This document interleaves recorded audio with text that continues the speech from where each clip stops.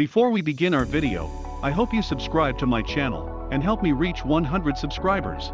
Poland and Sweden meet in the FIFA World Cup Path B playoff final on Tuesday, March 29th. The winner will book one of three remaining places at the 2022 tournament in Qatar, with the World Cup draw due to take place on Friday, April 1st. Poland are at home and playing in front of a 54,000 sellout crowd, but many of their countrymen don't consider the white and reds to be favorites. Poland have rarely enjoyed playing Sweden, and have lost the side's last six encounters, including a 3-2 defeat at UEFA Euro 2020. Poland have home advantage, but Sweden come into the game in buoyant mood after overcoming a tough Czech side in the semi-final.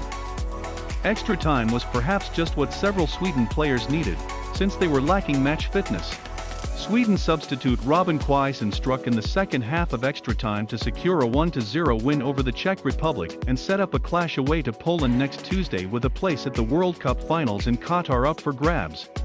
The Poland national team had to play a semi-final playoff against Russia instead of the friendly against Scotland. As you know, the Russians were suspended, and because of this, the Poles have automatically reached the final of the knockout stages. Bayern Munich star striker Robert Lewandowski will likely get the chance to score more goals against Sweden as he looks to add to the 74 strikes that he has already netted for his country.